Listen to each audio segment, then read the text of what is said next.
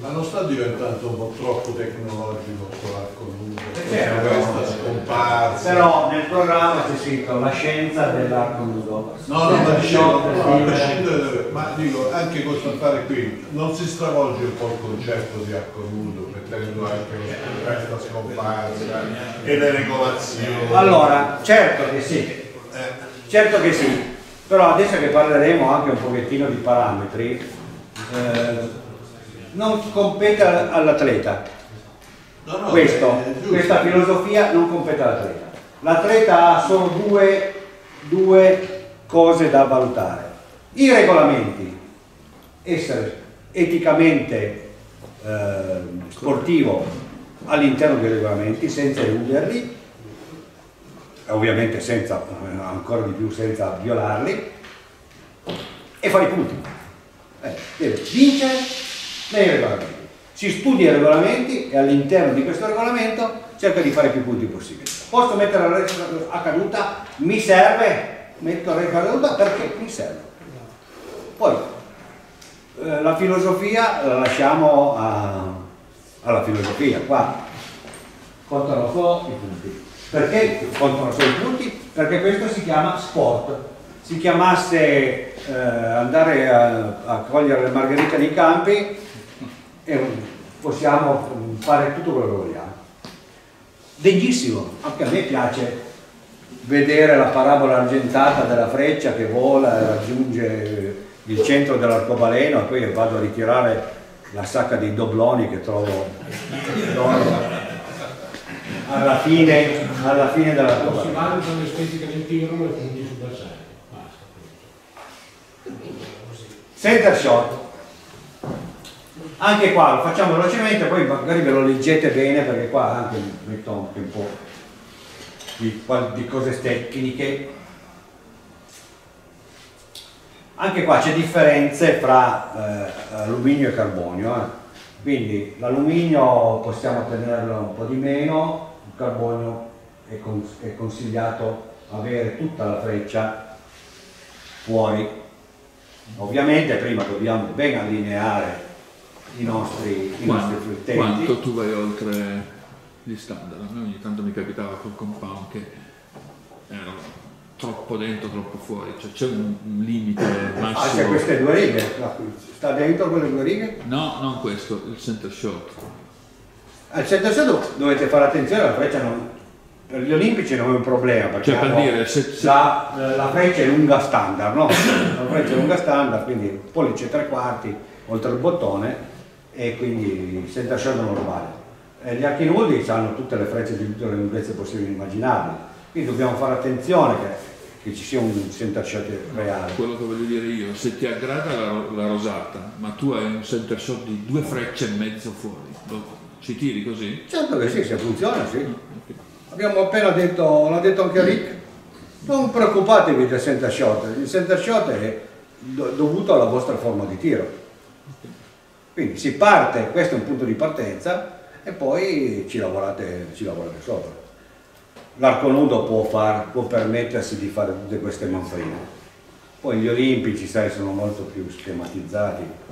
Eh, gli, gli olimpici, io ne ho conosciuti anche, no? Ma anche di istruttori, e loro non c'è niente da fare. Il tiller deve essere un, un ottavo negativo, Ma non è vero. detto, un ottavo, un ottavo, il punto di cocco deve essere un ottavo. Non Non, si, non ci si può schiodare da lì, perché quello è venuto, ehm, un giorno si è aperto il cielo con un raggio di luce, è venuta una tavola di pietra scolpita con un ottavo di tiller e un ottavo di cocco. E quindi quello deve essere per sempre. In tutti i secoli dei secoli amen. Non sono tutti così. Però tanti sono così. 30 anni, non è Ok, va bene, adesso l'ho fatta per ridere, però tanti sono così, tanti sono Diciamo così, negli anni 80 tanti sono ancora così, invece non è così. Eh, lo strumento, diciamo noi eh, la variabile, no? Quindi lo strumento, ahimè, lo dobbiamo variare. Poi anche lei, basta fare un po' della spiegata e ti accorgi che non puoi essere bloccato sull'80. Ora proviamo a dividere la freccia in due sezioni. No, questo non ve lo leggete perché è un po'.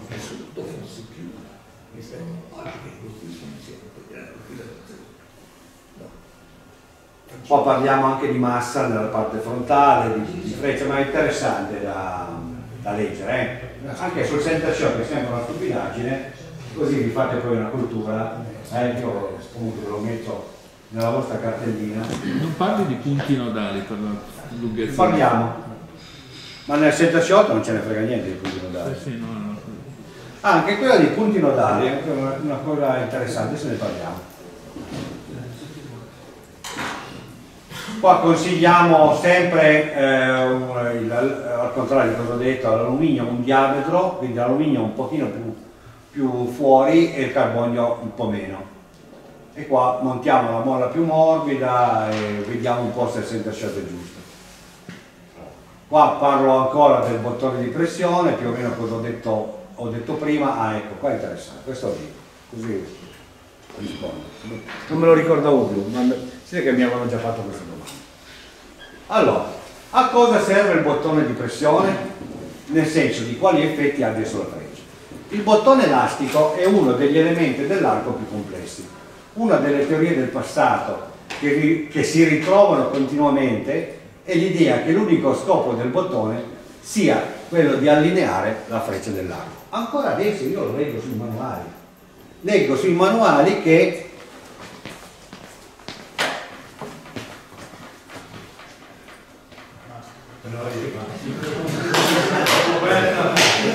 Arrivo, arrivo, andato a prendere, sono andato a prendere una freccia. Allora, voi sapete benissimo che la freccia scodinzola, ok? L'avete, visto in tutti i filmati. Allora, intanto scodinzola per un po' di effetti, qua non ci sono neanche ripetute osservazioni, hanno anche, c'è anche un modello matematico. Comunque, è, adesso lo faccio sul piano verticale, ma ovviamente sul piano orizzontale si muove per ventri e nodi in andamento sinusoidale. ok? Ventri e nodi. I ventri possono essere avere un massimo positivo e un massimo negativo e i nodi ovviamente sono sempre zero. Come un'onda sinusoidale. Se parlo troppo difficile, fermatevi. E scodinzola così per- fino a che non arriva si pensava che il bottone, e ancora sta scritto sui manuali, e ancora persone qualificate pensano che sia così, cioè che lo scopo del bottone sia che i due nodi siano allineati nel volo della freccia, il bottone serve ad allineare il volo, il volo della freccia e quindi i due nodi verso il bersaglio, in modo che la freccia vada dritta. Questo è lo spine che lo fa non il bottone. Il bottone non cambia lo spine. Ok? Qua c'è un qui pro quo generato da... Boh, qualcuno l'ha detto, qualcuno l'ha scritto, qualcuno l'ha, detto, qualcuno l'ha scritto, qualcuno l'ha letto. Qualcuno l'ha detto, qualcuno l'ha scritto, qualcuno l'ha letto ed è diventata la formula E uguale a mc quadro.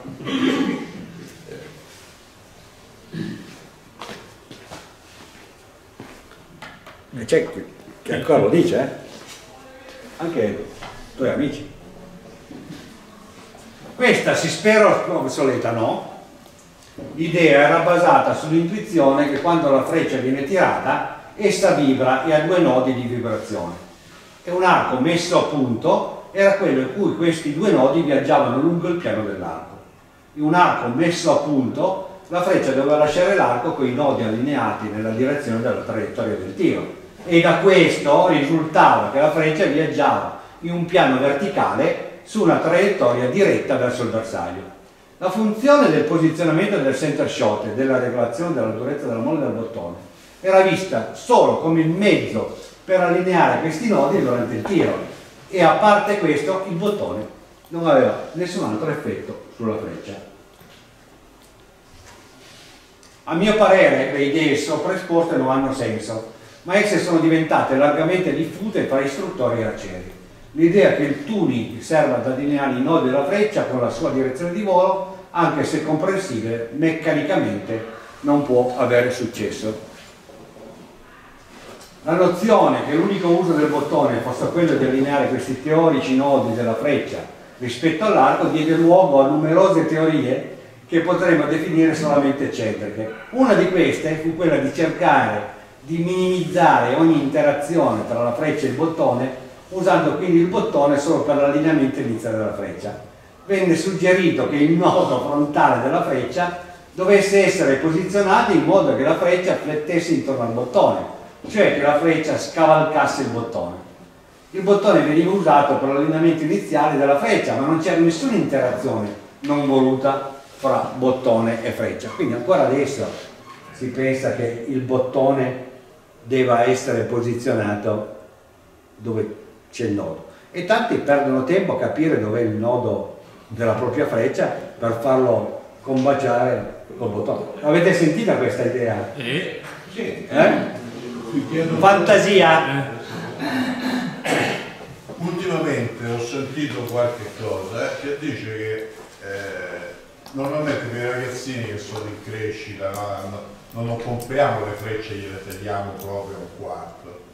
Io normalmente le lascio fuori tanto così Certo. per il clicker, no? Di tanto così e metto il clicker sul sul, mirino. sul mirino, Bravissimo. ovviamente, no? Perfetto. Ecco. Ho sentito dire che il fatto di posizionare il, click- il, eh, clicker con questa distanza qui sul mirino fa variare la- la- l'allineamento dei nodi. Secondo E, me è e una quando, quando- quando di- quando ti dicono così, ti dici per cortesia, mi dai il link alle pubblicazioni che hai letto su, questo, su questa teoria che mi stai A dicendo. me non sembra che possa No, me l'ha detto solo. Tizio, me l'ha detto Mario, che a mio cugino, Eh, però è uno molto qualificato. certo, ma è semplicissimo, ma io posso sbagliare, eh? Poi io vi- voi mi potete chiedere, ma te come le sai queste cose? Chiedetemele, e io vi rispondo. come fa a essere Ad esempio. Tranquillamente, no, no, no, ancora, ancora meglio. Allora, basta chiedere a queste persone, per favore, eh, mi dai documentazione. Oppure mi dai i tuoi titoli, sei ingegnere meccanico aeronautico e hai, e mi fammi vedere le tue pubblicazioni, se hai la- le capacità di, di aver fatto delle pubblicazioni tu stesso. Oppure mi dai il link delle pubblicazioni che dicono il contrario. Io vi do il link di chi ha fatto di un ingegnere meccanico, anzi addirittura di un ingegnere di fluidomeccanica che ha fatto queste sperimentazioni. Ed è sempre, la, la maggior parte probabilmente già lo conosce, Joe Tapley. E Joe Tapley è un, un grande teorico, sul- è l'unico grande teorico che abbiamo sul volo della freccia e ha un suo sito eh, che è tradotto eh, il meccanismo di funzionamento del volo della freccia. Il cui ha fatto, ha- sta tentando di fare dei modelli matematici sul volo della freccia. E questa è scienza, non fantascienza, eh? questa è scienza. Domanda comunque, ma la cosa più efficiente comunque è che il bottone una volta che ho rilasciato la freccia lavori sulla, pan, sulla prima pancia, sulla prima piega della freccia, su.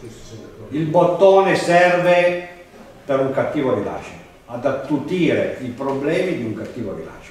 Il bottone puoi anche non metterlo, non, ha, non, ha, non serve il bottone per la precisione della freccia, se il tuo rilascio è perfetto, il compound c'ha il bottone, Ma anche l'autoscuola volendo non ce l'ha. ma neanche gli archi tradizionali hanno il bottone. Se la freccia è perfetta e il tuo rilascio è perfetto, non hai bisogno del bottone. Il bottone serve se te hai un rilascio, attutisce quel tanto che basta da portarlo in un range attendibile, a non allargare il range dell'errore. Solo ed esclusivamente a quello. Mettilo dove vuoi. restiamo anche su questo.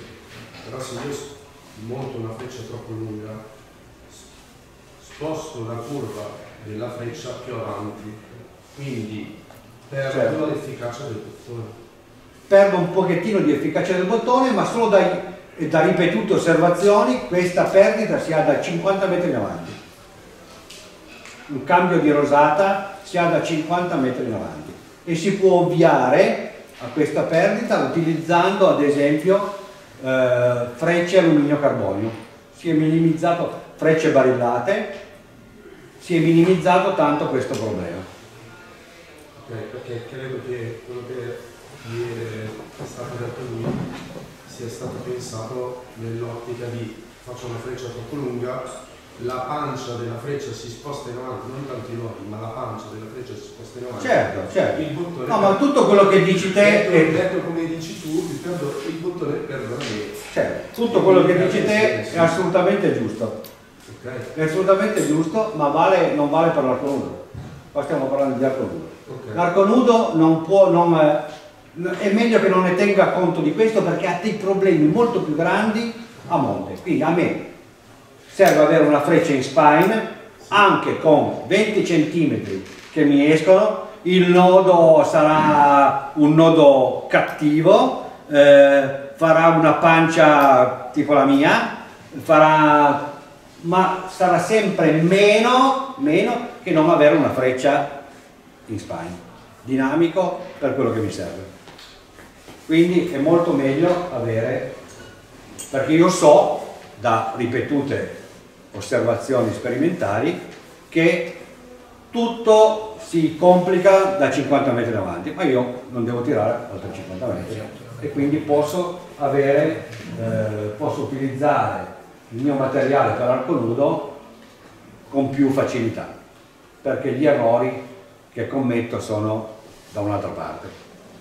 Ok? Quindi non andiamo a cercare peli dove non ci interessa conoscerli. Stranamente, tanto per finire il discorso, stranamente nessuno suggerì che il modo ovvio per ottenere perfettamente questo effetto sarebbe stato usato era tirare come destro un arco mancino.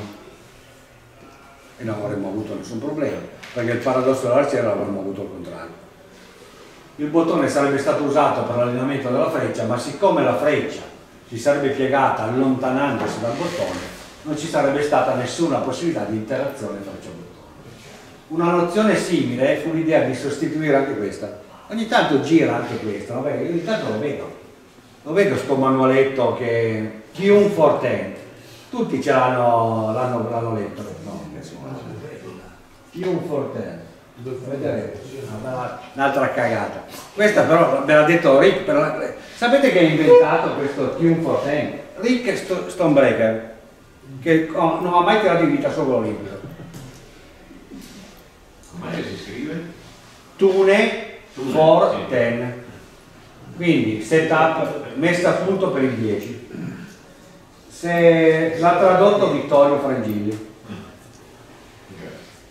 e da qualche parte esiste però come ti dico qua una nozione simile fu l'idea di sostituire la molla del bottone con un fiammifero e settare il bottone per avere un senta shot a zero siccome una qualsiasi interazione freccia-bottone sarebbe stata amplificata senza la molla, si sarebbe potuto regolare il libraggio dell'arco in modo da variare il comportamento della freccia per ottenere un perfetto allineamento naturale dei due nodi.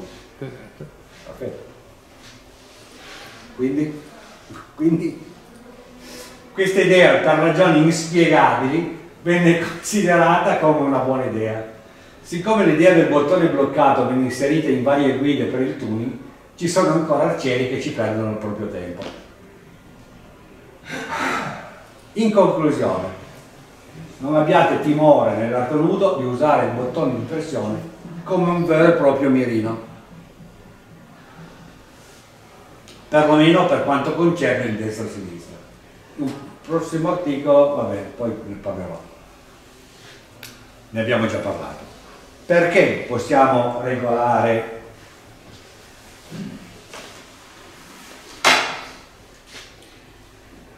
qualcuno ammazza l'orologio. Tiro, vado a destra, giro di bottone, chiudo il bottone. Giro, vado a sinistra, no, uno scatto duro, un bel giro. Ok? No, estemporaneamente, ovviamente. perché ovviamente io ho fatto la messa a punto e tutte le frecce andavano al giallo. Sono in gara e nei tiri di prova vanno tutte a sinistra. Che cosa faccio? No, sposto la testa, eh, allargo la mano, metto dentro la mano, giro il bottone.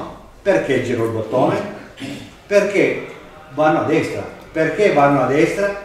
Perché è cambiato semplicemente lo spine dinamico. Lo spine dinamico è variato. Come si fa a mettere a punto l'arco con uno spine dinamico variato? Si modifica il bottone.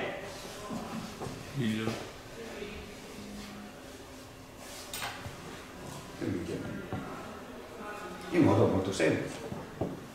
Nessun arco nudo al mondo ha chiuso questa vite. Chi chiude quella vite, grazie. E devo ringraziare anche i coach che dicono di non toccare il bottone. Grazie ai coach che dite di non toccare il bottone. Da parte di Berto. Quindi tranquillamente potete, anzi dovete, perché se le frecce vanno a destra e sinistra e la messa allora intendiamoci tanto per intenderci. Se la nostra rosata è così le frecce vanno a destra a sinistra alte e basse ed è un colabrodo quindi non lo so perché vanno a destra a sinistra alte e basse. Perché la mia tecnica non è raffinata per avere una rosata. Quindi il problema non si pone.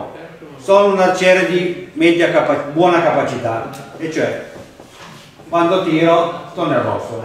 Sì vabbè dai un 6 ogni tanto lo faccio lo faccio pure io alle volte mi scappa una presa 6.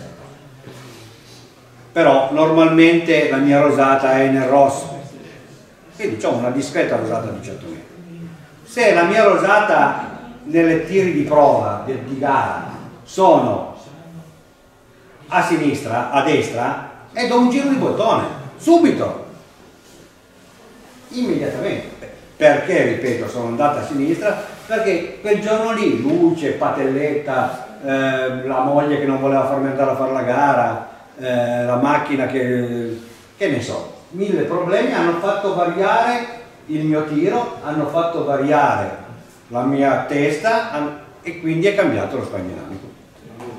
E quindi do un giro di bottone. Molto semplicemente, talmente semplice che pensarla in maniera diversa, boh, non lo so perché. Non so. Certe cose non le so perché.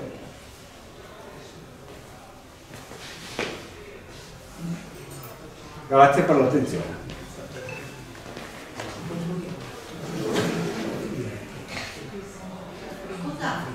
Certo arrivo, ne lancio un altro e arrivo.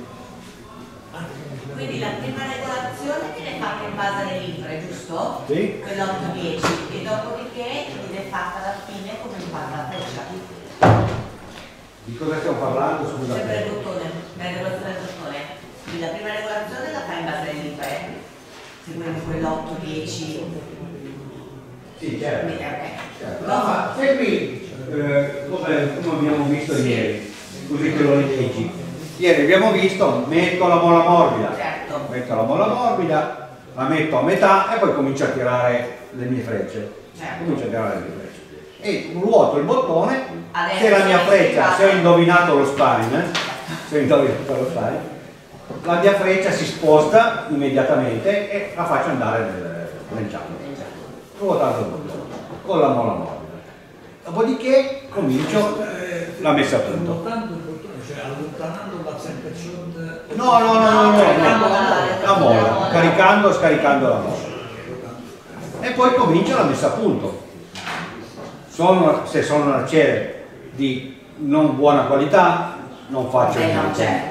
Metto la molla a metà non- e tiro la paglia Sì. e poi vedo un po' il colabrodo. Però se vedo un po' dappertutto. quando rispetto al centro, a destra, a sinistra, Poi, se sono media capacità, eh, che più o meno ci prendo, mi metto a 15 metri, no a 18, mi metto vicino a 15 metri e sposto la rosata lavorando sulla molla. lavor- lavorando sulla molla. Per adesso mi accontento della molla. Il bottone, il center shot l'ho messo un pochettino a destra, per, un pochettino a sinistra per arcieri destri e da lì non mi schiodo. un pochettino. Poi lavorerò sul center shot poi fuori, perché il center shot mi servirà poi per calibrare da 5 a 50 metri. Mi metto a, a 15 metri e regolo il bottone da centrarmi la mia rosata. Ho, centrato la mia rosata benissimo. Se la, se la freccia già si è spostata, già sono a buon punto perché vuol dire che la freccia ce l'ho in spalla. Ah, Ora tiro le spennate. Prendo 3 o 4 spennate e le tiro e vedo dove vanno a finire. Dove vanno a finire tro- almeno 3 o 4. Eh. Io non voglio più vedere tirare una spennata. Io posso farlo. Io. Solo io e qualcun altro può tirare una spennata. Non siamo gli olimpici. Noi gli archi nudi almeno 4 spennate le dovete tirare per vedere la rosata delle spennate. La rosata delle spennate. Potete tirare una freccia impennata e poi 4 piuttosto. Meglio, eh? Anche i olimpici sono una spesa. Anche gli olimpici. Invece si usano frecce comunque economiche. Sì, sì, sì, certo. E certo. va per una freccia larga Certo. possono avere anche 50 punti di spine differenti. Eh, Poi l'olimpico se ne accorge subito, l'arco nudo ovviamente no, non se ne accorge subito. E vedete dove va a finire sta rosata. Cominciamo a mettere, e così cominciate a fare tutto quello che dovete fare. Cominciamo col punto di cocco, vediamo che succede, eh, se è ancora morbida, se è ancora rigida, se è a sinistra, se è a destra, cerchiamo di mettere, metterle insieme. Non ci perdiamo troppo se le, le spennate sono nell'otto, sono nel, nel rosso, va bene lo stesso, è- per il momento va bene. Se siamo di buona capacità è logico che la spennata se ne andare. E basta, io tiro la spennata a 50 metri anche. Anzi, tiro tutte, tutte frecce spennate a 50 metri. Però questo si può fare un po' più avanti. Ah, quando usavo l'anno scorso, l'anno scorso, sì, l'anno scorso che usavo le 20, ma, non l'avessi mai lasciate queste 21 13 che le ho regalate che mi sono pegolato nelle 22 12 eh, io tiravo in, eh, in allenamento solo frecce spennate 12 frecce spennate a 18 metri. Stop. Solo spennate manco le impennate perché le rompevo, le rovinavo. Le, le, le alette.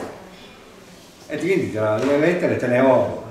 Quando contavo i punti o se no solo certo le rosate non sono super chiuse però degli errori che ti accorgi immediatamente il minimo errore ovviamente la freccia.